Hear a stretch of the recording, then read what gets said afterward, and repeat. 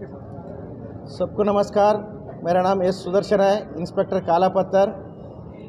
हमारा कमिश्नर साहब, Shri Shri Anand, IPS and south zone DCP Gajrao Gopal साहब, IPS साहब के आदेश से आज से हम हर एक अवेयरनेस प्रोग्राम कर रहा।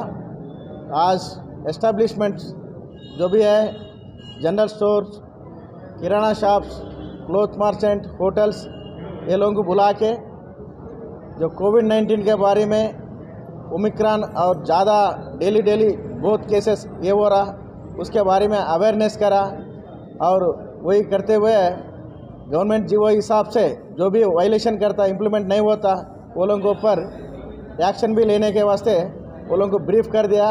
एक्शन लेना हमारा उद्देश्य नहीं है।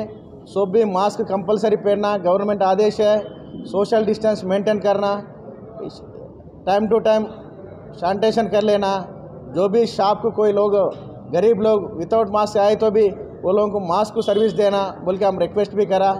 ये पूरा कोई मेंटेन नहीं हुआ तो वो लोगों के ऊपर एक्शन लेते।